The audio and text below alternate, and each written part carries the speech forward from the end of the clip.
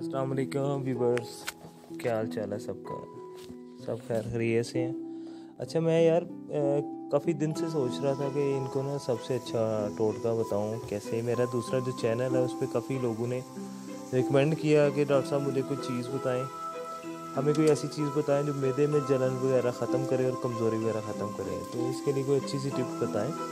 تو ایسا ہے کہ میں نے آج یہ پشاوری کعوہ بنا کے بتایا۔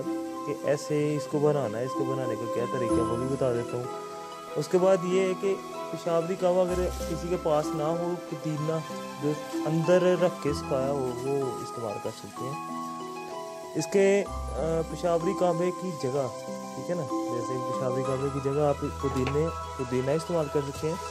اور اس کے ساتھ ایسا کر لیں گے، پانچ چیزیں استعمال کر لیں پشاوری کعبہ ایک ہو گیا یا پودینے کا کعبہ پودینہ ہو گیا۔ اندر سکھایا ہو۔ اور کالی مرچ ہوگی، لونگ ہوگی، الائچی، چھوٹی الائچی ہوگی، ٹھیک ہے؟ تو فرسٹ پہ ہی میں نے سب کچھ لکھ کے مینشن کر دیا تھا کہ یہ چار چیز پانچ چیزیں آپ مکس کریں اور اس کو نا آپ ابال لیں تقریباً دس منٹ کے لیے ابالیں۔ ابالنے کے بعد ایسا کریں کہ اس کو اتنا ٹائم دیں کہ یہ صحیح طرح اس کا نا وہ اپنا رنگت وغیرہ دکھا دے۔ جب اس کی کلر چینج ہونا سٹارٹ ہو جائے جیسے بلیک نہ ہو، ٹھیک ہے؟ لائٹ کلر سٹارٹ دے کلر دینے سٹارٹ کر دے۔ اس کو ڈھانپ کے بھی رکھیں۔ دو چار منٹ کے بعد ڈھانپ کے رکھیں۔ اگر ہلکی اینچ پہ پکانا ہے تو اس کو پندرہ منٹ تک پکائیں، ٹھیک ہے؟ اس میں فائدے یہ ہیں کہ اس میں جسمانی کمزوری پٹھوں کا درد وہ بھی ختم ہو جاتا ہے۔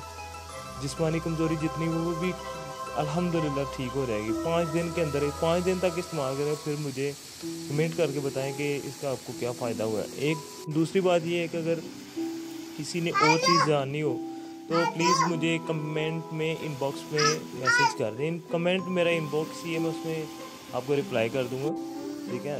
تو اس کے باوجود کچھ لوگوں نے پوچھا کہ یار مجھے نا آپ اپنا نمبر دے دیں۔ میں نمبر انشاءاللہ تھوڑے دن تک اس میں لگا دوں گا، کوئی مسئلہ نہیں ہے۔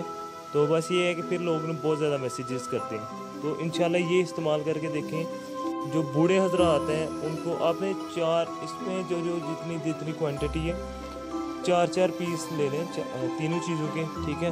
تھوڑا سا اس میں ڈالیں۔ تقریباً میں نے حسب ضرورت اس میں اوپر ہینڈ پہ رکھ کے بنائی ہوئی پک اتنا اتنا ہی کر کے آپ پانچوں چیزوں کے فرنٹ پہ ہی نام لکھے ہوئے میں نے یہ کر کے استعمال کریں۔ انشاءاللہ بہت بہتری آپ کو محسوس ہوگی اور بس دعاؤں میں یاد رکھیے گا۔ اللہ پاک آپ کو خوش رکھے اور مجھے ضرور بتائیے گا کہ اس کے فوائد کیا ہوئے ہیں، آپ کو کیا کیا کیا فائدے ہوئے ہیں، تو مجھے ضرور بتائیے گا۔ ٹھیک ہے نہیں